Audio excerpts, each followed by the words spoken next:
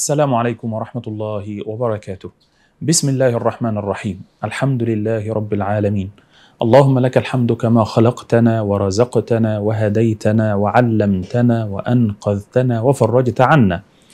لك الحمد بالإسلام ولك الحمد بالقرآن ولك الحمد بالأهل والمال ولك الحمد باليقين والمعافاه. لك الحمد يا ربنا بكل نعمة أنعمت بها علينا في قديم أو حديث أو سر أو علانية. لك الحمد حتى ترضى ولك الحمد إذا رضيت. وأشهد أن لا إله إلا الله وحده لا شريك له. وأشهد أن سيدنا محمدا عبد الله ورسوله. اللهم صل عليه وعلى آله وصحبه ومن اهتدى بهديه إلى يوم الدين أما بعد فيا أيها الإخوة المشاهدون الكرام مرحبا بكم مع درة جديدة من درر الحكمة نسأل الله تعالى أن يحيي قلوبنا بالحكمة. وكما قال لقمان عليه السلام يا بني جالس العلماء وزاحمهم بركبتيك فإن الله تعالى يحيي القلوب بنور الحكمة كما يحيي الأرض بوابل السماء أو بالمطر.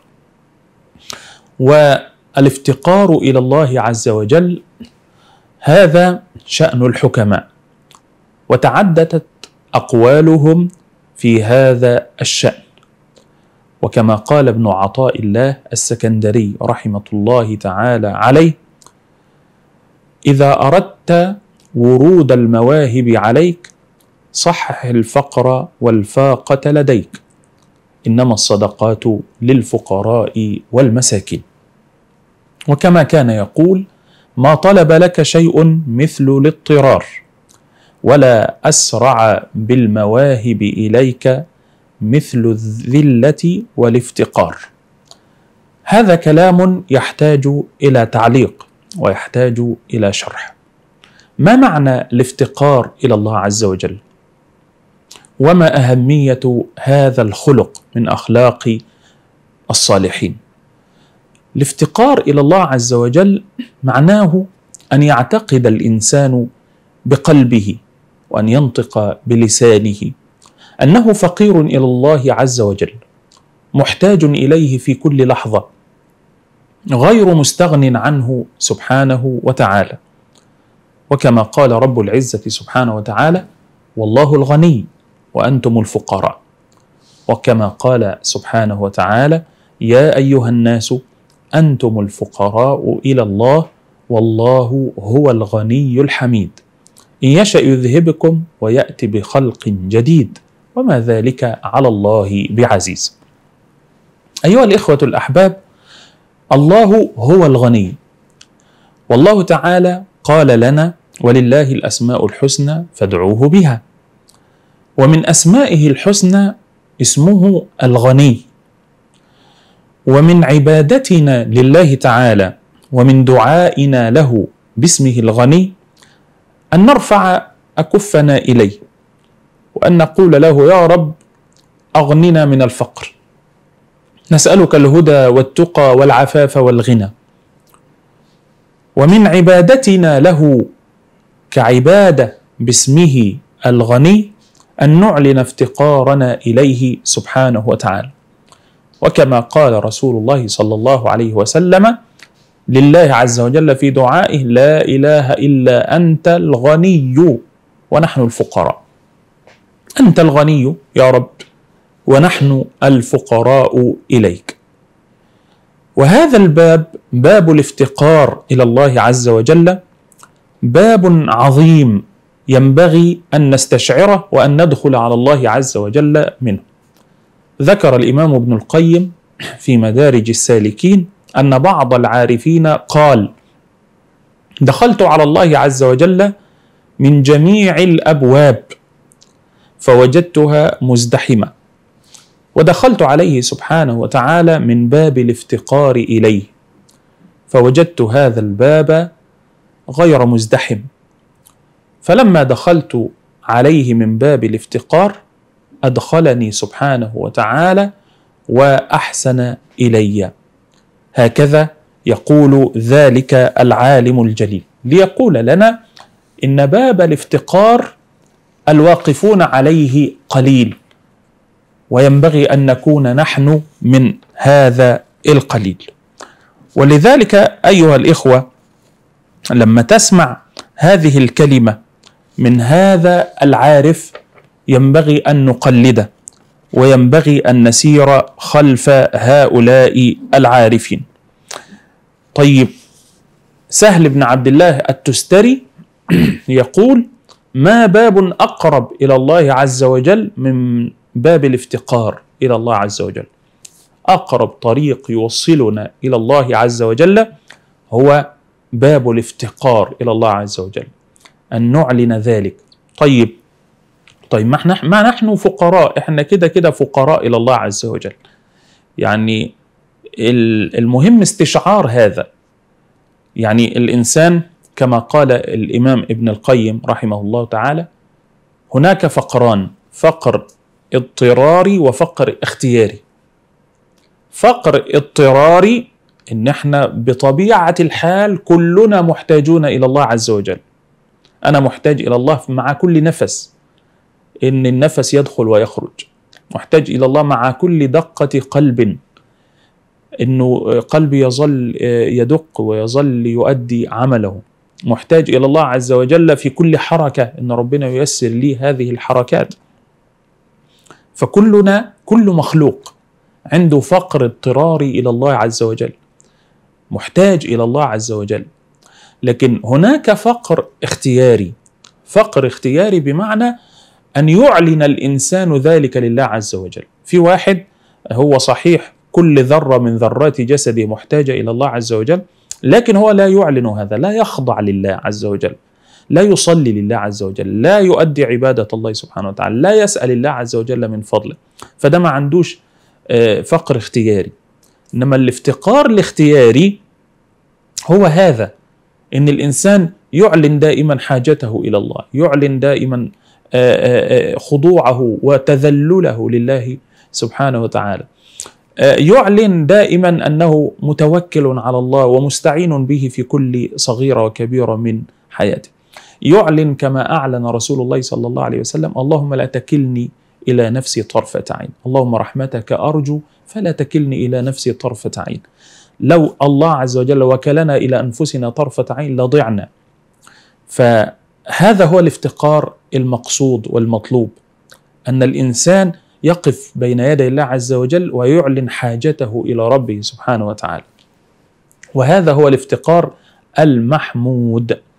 هو في فقر مذموم أيوه في فقر مذموم اللي استعاذ منه النبي عليه الصلاة والسلام اللي كان بيقول أعوذ بك من الكفر والفقر وكان يقول أعوذ بك من فتنة الفقر وبيقول برضه أعوذ بك من فتنة الغنى فالفقر المذموم اللي استعاذ منه النبي عليه الصلاة والسلام هو الفقر اللي بيلجئ الإنسان إلى الحاجة. إنه يبقى محتاج. إنه محتاج إيه؟ محتاج إلى الناس. إنه يمد إيديه للناس. إنه لا يجد ما يكفيه حاجته الأساسية. فالنبي عليه الصلاة والسلام كان يستعيذ بالله من هذا الفقر. وكان يسأل الله تعالى الغنى. والغنى نوعان. غنى المادة أن يكون الإنسان عنده مادة عنده مال يكفيه أسألك الهدى والتقى والعفاف والغنى وإنه يكون عنده غنى نفس. والاتنين مطلوبين إنه ربنا يعطينا هذا الغنى وهذا الغنى. طيب الفقر المذموم هو الافتقار إلى الناس لأنه الإنسان كده يعني سيذل لخلق الله عز وجل. وإحنا عايزين التذلل فقط يكون لله عز وجل. وكان من دعاء سيدنا احمد بن حنبل رحمه الله تعالى اللهم كما صنت وجهي عن السجود لغيرك فصنه يا ربي عن التذلل لغيرك. يا رب كما صنت وجهي إنه يسجد لأحد غيرك يا رب صن وجهي عن التذلل لغيرك يا رب. يعني مش مش عايز يا ربي أبقى فقير إلا لك أنت سبحانك. وبعض العلماء يروون عنه رضي الله عنه أنه قيل له ادع لنا. فبما دعا الإمام أحمد رحمه الله تعالى. عن أبي جعفر قال كنا مع أحمد ابن حنبل فقلنا له ادعو الله لنا. فقال اللهم إنك تعلم أنك على أكثر مما نحب. اللهم إنك تعلم أنك على أكثر مما نحب فاجعلنا على ما تحب. ثم سكت. فقلنا له زدنا. فقال اللهم إنا نسألك بالقدرة التي قلت للسماوات والأرض ائتيا طوعا أو كرها. قالتا أتينا طائعين. اللهم وفقنا لمرضاتك. ثم قال اللهم إنا نعوذ بك من الفقر إلا إليك ونعوذ بك من الذل إلا لك. اللهم إنا نعوذ بك من الفقر إلا إليك ونعوذ بك من الذل إلا لك. هذا هو الموطن وهذا هو الشاهد. يا رب لا تزلنا لأحد غيرك. الذل لله عبادة تذلل لله عبادة المسكنه لله عبادة. وشرف ومما زادني فخرا وتيها وكدت بأخمصي أطأ الثريا دخولي تحت قولك يا عبادي وأن صيرت أحمد لي نبيا صلى الله عليه وسلم. هذا فخر كبير إن أنا أكون عبد لله إن أنا أكون فقير إلى الله إن أنا أكون ذليل بين يدي الله. لكن التذلل والافتقار لغير الله عز وجل للخلق هذا شيء مذموم نستعيذ بالله عز وجل منه. ويقول الأصمعي رأيت اعرابيا في موقف عرفة وهو يقول اللهم إني أعوذ بك من الفقر إلا إليك وأعوذ بك من الغنى إلا بك. فقلت له يا هذا أما لك إلى ربك حاجة تسأله في هذا الموقف غير هذا؟ فقال لي وأي شيء بقي من الحوائج؟ وأي شيء بقي من الحوائج. ده أنا بقول له يا ربي أعوذ بك من الفقر إلا إليك ومن الغنى إلا بك. هو كده فاضل شيء؟ أنا ما سألتوش ربنا سبحانه وتعالى ده أنا كده سألت ربنا كل شيء أنا عاوزه. فهذا معنى مسألة الافتقار إلى الله سبحانه وتعالى. المشكلة الكبرى اللي ممكن يقع فيها الإنسان إنه يشعر باستغنائه عن الله عز وجل. وهذا الاستغناء والعياذ بالله يجعله يتكبر على الله سبحانه وتعالى ويطغى. ولذلك في القرآن الكريم في سورة العلق كلا إن الإنسان ليطغى أن رآه استغنى. إذا استغنى الإنسان عن الله عز وجل طغى إذا شعر بغنى نفسه عن الله عز وجل والشيطان وسوس له بالحكاية دي والنفس الأمارة بالسوء وسوست له بأنه غني عن الله مستغني عن الله طغى. ولذلك فرعون ما الذي جعله يطغى؟ هو المعنى ده. إنه حس بالاستغناء. أنا ربكم الأعلى. ما علمت لكم من إله غيري. أليس لي ملك مصر وهذه الأنهار تجري من تحتي؟ أفلا تبصرون؟ أم أنا خير من هذا الذي هو مهين ولا يكاد يبين؟ الله ده في نوع من الاعتزاز بالنفس. الاعتزاز بالنفس المذموم مش العزة مطلوبة عزة النفس مطلوبة. لكن هنا في نوع من من الكبر في نوع من البطر في نوع من الإعلان الاستغناء عن الله عز وجل. فالاستغناء عن الله عز وجل جعله يطغى. ولذلك الإنسان يستعيذ بالله إنه يستغني عن الله.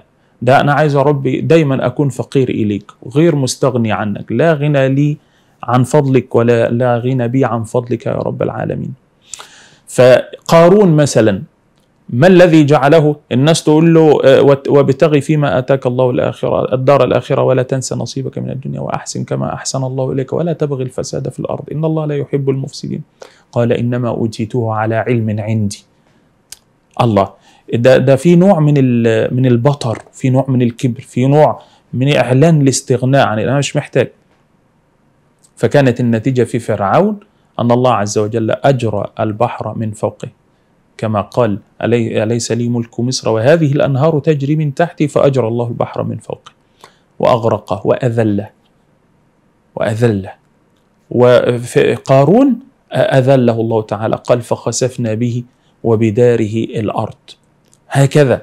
فالشاهد أنه الاستغناء عن الله هذا شيء سيء. لكن الغنى بالله هذا هو منزل من منازل السالكين. إن الإنسان يستغني بالله عز وجل. اللهم أغنني بفضلك عمن سواك. أغنني يا رب عمن أغنيته عني. اجعلني غنيا بك مستغن عن خلقك. يبقى الاستغناء بالله مش الاستغناء عن الله. لا أنا عايز أكون غني بالله سبحانه وتعالى. والغنى بالله هو الافتقار إلى الله. أنا عندما أفتقر إلى الله عز وجل الله يغنيني من فضله ويغنيني عن خلقه سبحانه وتعالى. يبقى أنا عايز أكون غني بالله سبحانه وتعالى. طيب الافتقار إلى الله عز وجل شأن الأنبياء والمرسلين وشأن سيدنا النبي صلى الله عليه وسلم. عايزين نمشي وراهم في مسألة الافتقار إلى الله عز وجل. شوف سيدنا موسى يقول إيه؟ فسقى لهما ثم تولى إلى الظل فقال ربي إني لما أنزلت إلي من خير فقير. يا رب أنا فقير إليك. يا ربي ارزقني من فضلك. فلما أعلن الافتقار إلى الله عز وجل وتوسل إلى الله تعالى بذلك وفعل الخير مع ابنتي الرجل الصالح وسقى لهما هنا جاءه الخير. فجاءته إحداهما تمشي على استحياء قالت إن أبي يدعوك ليجزيك أجر ما سقيت لنا. وبعدين يروح فيأمن ويجد عملا ويتزوج. قال إني أريد أن أنكحك إحدى ابنتي هاتين على أن تأجرني ثمانية حجج فإن أتممت عشرا فمن عندك. ووجد ذلك. بافتقاره إلى الله عز وجل. فإحنا اللي محتاج رزق يعلن فقره إلى الله عز وجل ويقول يا ربي ارزقني اكفني بحلالك عن حرامك أغنني من الفقر واقضي عن الدين. هكذا علمنا النبي صلى الله عليه وسلم. اللي محتاج مال يطلب من الله عز وجل ويعلن افتقار. إزاي أبقى محتاج ولا أسأل الله عز وجل؟ لا ده أنا لازم أدعو والدعاء مظهر من مظاهر الافتقار إلى الله سبحانه وتعالى. زي سيدنا موسى ما قال كده يا ربي إني لما أنزلت إلي من خير فقير. سيدنا أيوب عليه السلام يعلن افتقاره إلى الله عز وجل في شأن الصحة أدي جانب من جوانب الافتقار إلى الله عز وجل. وسيدنا إبراهيم يقول وإذا مرضت فهو يشفين محدش هيجيب الشفاء إلا ربنا. لا شفاء إلا شفاؤك شفاء لا يغادر سقما. فربنا لما يريد الشفاء يأتي بالشفاء ولو على يد أصغر طبيب سنا يعني أو أو أو علما. ربنا يوفقه إنه يكتب الخير طيب إذا لم يرد الشفاء والعياذ بالله لا أحيانا يبقى أمهر طبيب ويشخص الحالة غلط أو يكتب دواء غلط أو الدواء يتكتب صح بس اللي يصرفه يصرفه غلط أو يتكتب صح ويتصرف صح لكن يتناول بطريقة خاطئة. إلى آخر هذا. أو كل ده صح ولكن الدواء لا يجري لا يأتي بمفعوله بيبقى في مريض ومريض والاثنين نفس الحالة والاثنين بياخدوا نفس العلاج وواحد يشفى وواحد لا يشفى عشان نعلن افتقارنا إلى الله عز وجل في هذا الشأن. سيدنا زكريا يعلن افتقاره إلى الله تعالى في شأن الإنجاب. رب لا تذرني خيرا وأنت خير الوارثين فاستجبنا له. كل دول ربنا قال عنهم استجبنا له. وهكذا سيدنا إبراهيم عليه السلام يعلن افتقاره إلى الله عز وجل في شأن الهداية. في شأن الهداية. يعني حكاية الهداية دي مش شطارة مني ولا شطارة من حضرتك إن حضرتك بتصلي أو بتسمع دلوقتي برنامج ديني أو بتسمع ذكر لله سبحانه وتعالى أو بتذكر رب العزة سبحانه وتعالى لا ده دي كلها هداية من الله عز وجل نحمد الله عز وجل عليها. الذي خلقني فهو يهدين. آه يبقى آه أنا محتاج في الهدايه اهدنا الصراط المستقيم. في كل ركعة نقول لربنا اهدنا الصراط المستقيم. يعني يا رب ثبتنا على الصراط المستقيم. وسيدنا إبراهيم يقول في دعائه وجنوبني وبني أن نعبد الأصنام. سبحان الله. بقى أنت نبي وأبو الأنبياء. ويدعي ربنا يا رب يا رب اكفيني شر عباده الأصنام. هو كان بعض السلف يقول من يأمن على نفسه بعد إبراهيم؟ اللي اللي على طريق الهداية ويقول لك لا لا ده أنا ثابت لا لا ده أنا مش لا والله أبدا بتثبيت ربنا. ربنا يقول ولولا يقول لحبيبه صلى الله عليه وسلم ولولا أن ثبتناك لقد كدت تركن إليهم شيئا قليلا. لا ده أنا فقير إلى الله عز وجل في إنه يثبتني على الهداية. فسيدنا إبراهيم يقول واجنبني وبني أن نعبد الأصنام. يعني يا ربي أنت اللي حافظنا من ده وأدم علينا نعمة الحفظ من هذا. أنا فقير إليك في الجانب الهداية وهكذا. فالعاقل هو الذي يعلن دائما افتقاره إلى الله سبحانه وتعالى. الافتقار إلى الله عز وجل هذا سبب في كل خير. والعلماء يقولون هو أصل من أصول الدين. بعض العلماء سئل عن أصول الدين فقال الافتقار إلى الله والاقتداء برسول الله صلى الله عليه وسلم. الافتقار إلى الله والاقتداء برسول الله. الافتقار إلى الله يخليني أصلي وأصوم العبادة العبادة أصلها الخضوع لله مع المحبة لله عز وجل. فقال أصول الدين أنا شايف إن أصول الدين خير. إيه هي؟ قال الافتقار إلى الله واتباع النبي والاقتداء بالنبي صلى الله عليه وسلم. وقال بعضهم جماع المعرفة الافتقار إلى الله. المعرفة الكبيرة بالله سبحانه وتعالى ان أنا أكون مفتقر إلى الله سبحانه وتعالى. بل قال بعضهم ثمرة الطاعات الافتقار إلى الله عز وجل. لو حبيت تقول تلخص ثمرة العبادات في كلمة إيه الثمرة بتاعت الصلاة وإيه الثمرة بتاعت الدعاء وإيه الثمرة بتاعت الخضوع لله عز وجل والافتقار إليه. إعلان افتقاري إلى الله سبحانه وتعالى. طيب آآ آآ مظاهر هذا الافتقار إيه؟ قالوا عندنا كذا مظهر مظاهر كثير العبادات كلها من مظاهر الافتقار إلى الله سبحانه وتعالى؟ أنت بتصلي ليه محتاج لربنا وده حق ربنا عليه بتدعي ربنا ليه مفتقر إلى الله عز وجل. ولذلك قالوا من مظاهر الافتقار إلى الله الدعاء. الدعاء أصله إيه؟ والعبادة أصلها إيه؟ قالوا معرفة الإنسان بنفسه ومعرفة الإنسان بربه. من عرف نفسه عرف ربه. من عرف نفسه بالافتقار عرف ربه بالغنى. ومن عرف له نفسه بالذل عرف ربه بالعزة. وهكذا. فأنا ضعيف وربي قوي أنا فقير وربي غني. فلما حسيت بكده فرفعت إيدي لله سبحانه وتعالى ودعوته. ولذلك ربنا يقول وقال ربكم ادعوني أستجب لكم. إن الذين يستكبرون عن عبادتي سيدخلون جهنم داخرين. فجعل الدعاء عبادة.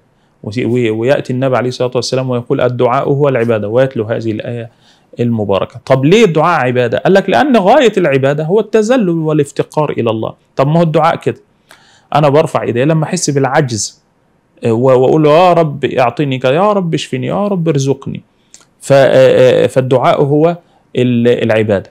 والتذلل والافتقار إلى الله سبحانه وتعالى. فإحنا محتاجين إن إحنا نكتر من الدعاء لله سبحانه وتعالى. وافضل ما يتوسل به إلى الله عز وجل اعلان الافتقار إلى الله سبحانه وتعالى. طاووس عليه رحمة الله يقول بينما أنا في المسجد فدخل علي بن الحسين زين العابدين رضي الله عنه وعن ابي وعن ال البيت أجمعين. دخل المسجد فقلت أستمع ماذا يقول لله لعلي أنتفع به. يقول فسجد وجعل يقول يا رب مسكينك بفنائك فقيرك بفنائك عبيدك بفنائك مسكينك بفنائك فقيرك بفنائك عبيدك بفنائك. يعني يا رب أنا فقير يا رب أعطني. قال فانتفعت بها فما دعوت بها في شيء إلا استجاب الله عز وجل لي. يقول أنا أديت وداني فسمعته وهو بيقول كده. فقيرك يا رب بقى أنا يا رب عبدك الفقير واقف ببابك يا رب وبفنائك. فافتح لي الأبواب وأغنني من الفقر. العلماء يقولون من ثمرات الافتقار إلى الله عز وجل الغنى.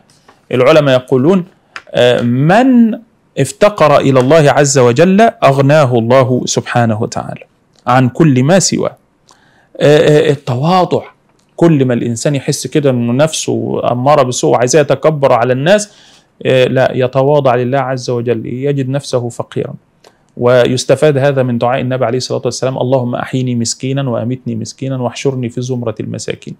طيب هو النبي عليه الصلاة والسلام ده هو استعاذ بالله من الفقر. إزاي يسأل الله عز وجل أن يحييه مسكينا؟ قالوا هو المسكنة هنا بقى. اللي هي الفقر الافتقار إلى الله. يبقى عنده بس حاسس إنه فقير إلى الله عز وجل مش مستغني عنه. ولذلك الإمام ابن القيم يقول يقول الافتقار إلى الله لا ينافي الجدة. الجدة يعني لا ينافي الغنى. طب ده ربنا بيقول للنبي عليه الصلاة والسلام ووجدك عائلا فأغنى. بس كان سيد المفتقرين إلى الله عز وجل. والأنبياء كان سيدنا سليمان أتاه الله ملكا لا ينبغي لأحد من بعده لكنه كان مفتقر إلى الله عز وجل. قال هذا من فضل ربي ليبلوني أشكر أم أكفر. يبقى ما فيش تنافي بين إن الإنسان يكون غني عنده مال المال كثير جدا لكن الدنيا في يده وليست في قلبه. فيشعر دائما بأنه محتاج إلى الله عز وجل. من من ثمرات الافتقار إلى الله عز وجل إن ربنا يأتيك بالنصر. ولقد نصركم الله ببدر وأنتم أذلة مفتقرون إلى الله عز وجل تقولون يا رب انصرنا وهكذا معتمدون عليه ومتوكلون عليه. في المقابل في غزوة حنين ويوم حنين إذ أعجبتكم كثرتكم فلم تغن عنكم شيئا. في بداية المعركة لما أعجبوا بكثرت كثرتهم كان للعدو الغلبة. فثبت النبي صلى الله عليه وسلم وجعل يقول أنا النبي لا كذب أنا ابن عبد المطلب. فاجتمعوا عليه ونصرهم الله تعالى. لكن يقول لك افتقر إلى الله ينصرك الله سبحانه وتعالى. التوفيق والعون من ثمرات الافتقار. إذا لم يكن عون من الله للفتى فأول ما يجني عليه اجتهاده. ذاكر واجتهد واعمل اللي عليك بس خليك دايما مفتقر إلى الله عز وجل إنه يوفقك وإنه يبارك في سعيك. لأنه لو لم يعنك ما ما استطعت أن تصل إلى شيء. قالوا السعادة سعادة الدنيا والآخرة وراحة القلب. هذا أيضا من ثمرات الافتقار إلى الله عز وجل. يبقى المسلم أيها الإخوة عليه دائما أن يعلن افتقاره إلى الله عز وجل أن يسأل الله تعالى باسمه الغني أن يخضع ويتذلل. والعلماء كانوا يقولون القلب فقير من جهتين من جهة العبادة ومن جهة الاستعانة. أنا أعلن افتقاري من جهة العبادة لله عز وجل ومن جهة الاستعانة. إياك نعبد وإياك نستعين. فلولا عون الله ما عبدنا. اللهم لولا أنت ما اهتدينا ولا تصدقنا ولا صلينا فأنزلا سكينة علينا وثبت الأقدام إلا قينا. فالعبادة رزق من الله عز وجل. العون على العبادة كذلك رزق. ولذلك قالوا قدم العبادة على الاستعانة من باب تقديم الغاية على الوسيلة. غايتنا أن نعبد الله ووسيلتنا أن نستعين بالله سبحانه وتعالى. فالخير كله والعطاء كله يأتي عندما نعلن افتقارنا إلى الله عز وجل. وبعض العلماء دعا بعض الأمراء ليصلوا صلاة الاستسقاء. فتأخر الأمير فأرسل العالم من يأتي بخبره فرجع يقول للعالم وجدت الأمير رافعا يديه إلى السماء ويبتهل ويبكي لله عز وجل فاستبشر ذلك العالم بأن الخير سيأتي. وقال إذا خضع جبار الأرض رحم جبار السماء. إذا أردت ورود المواهب عليك صحح الفقر والفاقة لديك. لو عاوز ربنا يعطيك من المواهب ويعطيك من الهداية ويبارك لك في علمك ويبارك لك في سعيك ويعطيك من خير الدنيا والآخرة صحح الفقر والفاقة لديك. خليك دايما فقير إلى الله. عندك فاقة وافتقار إلى الله سبحانه وتعالى فهو القائل سبحانه وتعالى إنما الصدقات للفقراء والمساكين. نسأل الله تعالى أن يرزقنا الافتقار إليه وأن يرزقنا الغنى به سبحانه وتعالى. نعوذ به من الفقر إلا إليه ومن الذل إلا له سبحانه وتعالى. اللهم اقض عنا الدين وأغننا من الفقر وإجعلنا دائما من عبادك الصالحين. نسأل الله تعالى أن يوفقنا لمرضاته. إلى لقاء قادم إن شاء الله. مع درة جديدة من درر الحكمة. أستودعكم الله الذي لا تضيع ودائعه. والسلام عليكم ورحمة الله وبركاته.